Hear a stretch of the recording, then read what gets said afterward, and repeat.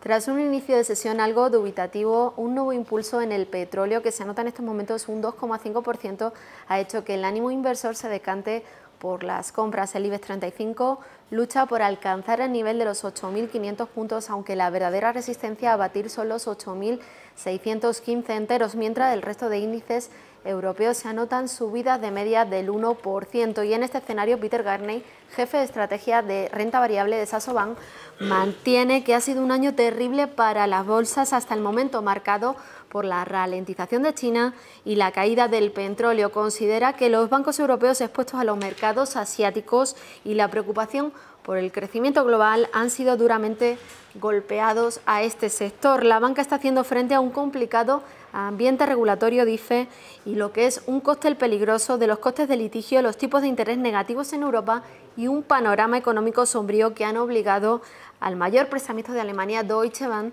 a presentar pérdidas por primera vez desde 2008. Sasso Bank, sin embargo, sostiene que el sector bancario europeo no está tan mal y, estos expertos dicen que está haciendo frente a un complicado ambiente regulatorio, pero que si nos fijamos en su valoración en estos momentos está extremadamente barata, por lo que debería rebotar. Las acciones de los principales bancos europeos han llegado a tocar fondo, dice Garney, y están preparadas para una recuperación. Justifican su valoración en tres datos macros que hemos conocido de la zona euro. El primero es que las ventas de coches en Europa han subido un 6,3%, que la tasa de, desempleo está cayendo y está aumentando el crédito por parte de los bancos. Evidencias de que el sector bancario no, no está tan mal y puede ser un buen momento para comprar.